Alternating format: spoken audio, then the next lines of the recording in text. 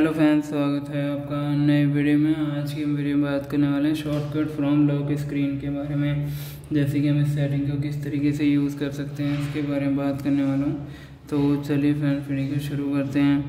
Video को शुरू करने से पहले अगर आप चैनल पर नए हैं तो चैनल को सब्सक्राइब कर वीडियो को लाइक कर दीजिए।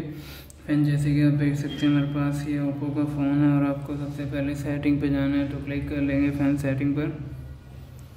सेटिंग पे जाने के बाद आपको इस तरीके का आइकन शो करेगा। आपको यहाँ पर क्या करना होगा, जैसे कि आप देख सकते हैं, थोड़ा सा आपको ऊपर की साइड स्क्रॉल करना है और यहाँ पे आपको देखने को मिलता है, जैसे कि आप देख सकते हैं सिस्टम सेटिंग तो इस पर क्लिक करेंगे।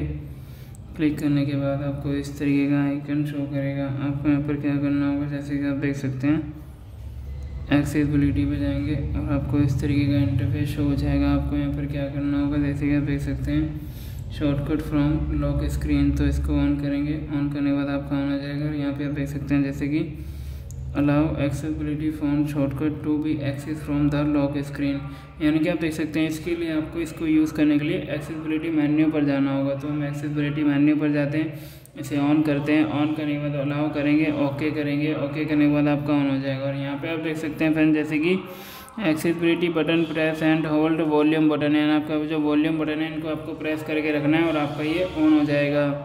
और फ्रेंड्स अगर आपको ऐसे भी ऑन नहीं होता है तो इस वाले ऑप्शन पे क्लिक करेंगे वैसे भी ऑन हो जाएगा। तो आप बात करने वाले हैं शॉर्टकट फ्रॉम लॉक स्क्रीन के बारे में। शॉर्टकट से लॉक स्क्रीन कैसे कर सकते हैं?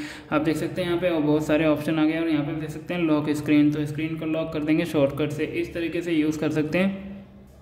और ऑफ़ करना चाहते हैं तो ऑफ़ कर सकते हैं दोनों को। तो उम्मीद है फ़ैन वीडियो पसंद आएगी। वीडियो पसंद आएगी तो चैनल को सब्सक्राइब वीडियो को लाइक कर दीजिए। मिलते हैं नेक्स्ट वीडियो में, तब तक के लिए नमस्कार। अगर आपको कोई भी जानकारी चाहिए पीसी से रिलेटेड या फिर फ़ोन से रिलेटेड तो आप कमेंट भी कर सकते हैं। मिलते हैं नेक्स्ट वीडियो में, तब तक के लिए